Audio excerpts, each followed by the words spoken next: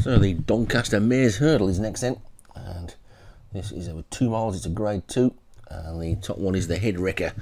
Paul Rhodes, Aiming Earth, Darren Thompson, Sally James of Paul Rhodes, Unlimited Power, Joshua Sutherland, Orange Eyes, Molliet Surfer, Soggy Bottom, David Robertson, and Winter Queen for Jim Murray. So just seven then in this. The rain's coming down now, and away they go. And the Head Wrecker, just the leader. They jumped the first and out jump there by Soggy Bottom. Soggy Bottom, all the jokes we did about Soggy Bottom, we did them last week, so I won't do any more today. And good low down shot there of this field. Doncaster now, of course, this Doncaster hurdle, and Soggy Bottom as the leader. From Unlimited Power second, Winter Queen and the Head Wrecker, Sally James. Those two pretty similar looking horses in similar colours, identical colours actually, and almost identical horses as well. Aiming Earth is just the back marker at this early stage, but Soggy Bottom's in front.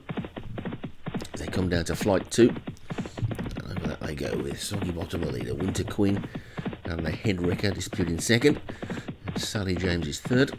Orange Eyes is fourth.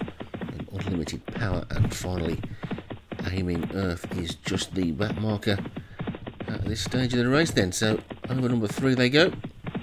Safely over that one as well. Soggy Bottom showing the way home in the rain to the Head Wrecker and Winter Queen and Sally James in a gap of a length or so to Orange Eyes in the yellow sleeves as we get a look on the inside of the track now. Aiming Earth has just gone past unlimited power as they take the fourth and that's half the jumping done. But they've still got 10 furlongs to race and Soggy Bottom's in front. And the Rhodes pair together. Sally James on the outside, Head Wrecker on the inside. Then Winter Queen, then Orange Eyes after that one. And Aiming Earth and Unlimited Power are still at the back of the stables in this and Soggy Bottom is the leader. Sally James second. And the Head Wrecker and Winter Queen. Orange Eyes next. And then Unlimited Power and Aiming Earth the back two. It's been pretty much the same.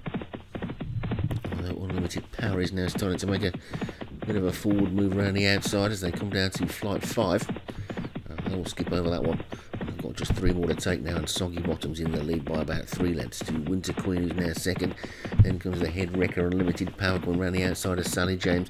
Then Orange Eyes, Aiming Earth is just being pushed along to keep in touch as they make their way towards the final five furlongs of the final three flights. And Soggy Bottom from the Head Wrecker.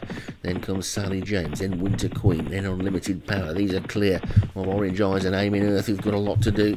But it's Soggy Bottom come down to the four furlong pole and racing down towards the third last flight. Soggy Bottom's in the lead from the Head Wrecker in second. Then Unlimited Power, then Sally James, then Winter Queen trying to get into it. Orange Eyes is now getting closer, and also Aiming Earth is beginning to run on as well. They're down towards the third last. Did these leaders go too soon? Over that one they go, and Soggy Bottom still clear by three to the Head Wrecker in second. Then Winter Queen and Unlimited Power. Sally James is tucked away behind them. Then comes Orange Eyes, and Aiming Earth is now back in shot over the second last they go, and it's Soggy Bottom they've got to get to. Soggy Bottom from Sally James is now gone into second. Then the Head Wrecker and Unlimited Power. Winter Queen shortly between these now. Soggy Bottom down towards the final flight. A short running over the final flight they go. And now Sally James and Unlimited Power sweep to the front. It's Sally James on the inside. It's Unlimited Power on the outside. It's Rhodes and Sutherland in a ding dong again. And it's Unlimited Power to take it from Sally James in second. Soggy Bottom may have hung on for third. That new post comes up quick after that final flight.